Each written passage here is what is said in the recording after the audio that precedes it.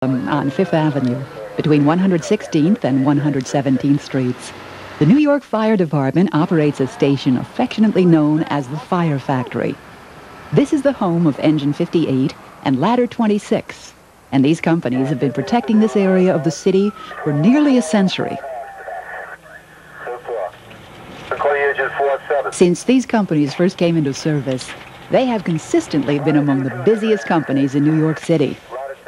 Last year, Engine 58 responded to 4,366 calls, while Ladder 26 made 4,822 runs. As you might expect, with this kind of activity, the members are a very close-knit group. When you're in a company that's busy like this, uh, you always find that the morale is high.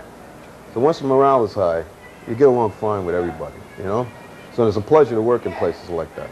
This, is a, this happens to be a house with a great deal of pride and tradition um, which affects all of us. We're all proud to be here. We've all tried very hard, as a matter of fact, to get into this house. Um, that, that really, uh, it shows me the things that different people do, especially the more experienced members. Um, this is their house. This is their second home. Some single guys, maybe it's their first home. What I like the most about it is just the way all the, all the guys get, get along good together. There's no problems here. Any problems are very small. Everybody works together good. Uh, they help each other. It's just a, a nice atmosphere. Most people think of meals as quality family time. That's exactly what it is at the Fire Factory. Everyone comes together to help slice and dice, share jokes and stories, and sometimes heated debate. But while thoughts of a barbecue might make you think of the beach or park, barbecuing for these fellows is done within the confines of a rear yard enclosed with razor wire.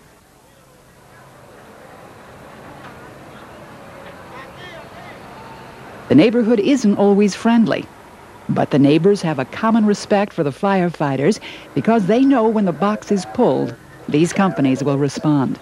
We're open 24 hours a day, uh, seven days a week, 365 days a year. Uh, the people know that uh, when they push the button on the alarm box or when they pick up the phone and they call the fire department or they need help, they know that they're going to get a fireman there right away. So instead of calling the cops or calling EMS or calling housing maintenance for a water leak or uh, whatever, they call the fire department because we're there in uh, three minutes. Unlike the Bronx, Harlem doesn't have an abundance of vacant buildings. Chances are, when these companies are called to go to work, it will be in occupied structures and they'll need to be in top shape to handle the extreme physical demands that firefighters go through on a daily basis. Well, as far as the fire duty, you can't beat it. You know, it's, it's kind of a, a good feeling rushing in while everybody's rushing out. If you drive around here, you see a lot of projects. You don't have many vacant buildings like people think, uh, you know, they, like they had them in the Bronx, the South Bronx. Uh, basically, everything is here is occupied. There's still a lot of tenements. They have a lot of H-type a lot of fireproof. You have a little bit of everything here. Traditionally, Harlem used to be basically black people, but I think Harlem has been uh, separated. You have Spanish Harlem now, and really even that's mixed. Um, there's just so many different people moving into uh, New York City that they're running out of space and they have to live somewhere. So this is one of the areas that there's uh, low-income housing available in this particular neighborhood, you have uh, projects in the immediate vicinity of the firehouse. You know, fireproof, uh, some 22 stories, some 17, some smaller ones. Then you have uh, a mix as you go a little further west of tenements. Uh, new law tenements, pretty big tenements, old law tenements, smaller. We have some uh, brownstones. You have a lot of stores on the main avenues here. Uh, it, once in a while you can see intermix a small, real old frame, real old, old, old frame, wooden building uh, stuck in between, maybe 120 years old. So it's a mix, a good mix of all different buildings here. For most of the last decade, Engine 58 was part of an experimental program to test the visibility of apparatus. And this engine was painted lime green. While the color scheme was not widely accepted, the men became attached to their green machine. Green truck uh, does seem a little awkward when I first got here, but it uh, kind of grows on you. You know, it, it, does. The thing about the green truck is it stands out, and uh, I guess like 58, you know, they they stand out, and I guess it goes along. It goes along with them, with their uh, with their mode. It's it's right. In, it's right in step with 58 because they stand out of the uh, of the crowd. We tell most people we're from Jersey in case they ask, and uh, that usually says, "Oh yeah, I heard about that. You guys from Jersey."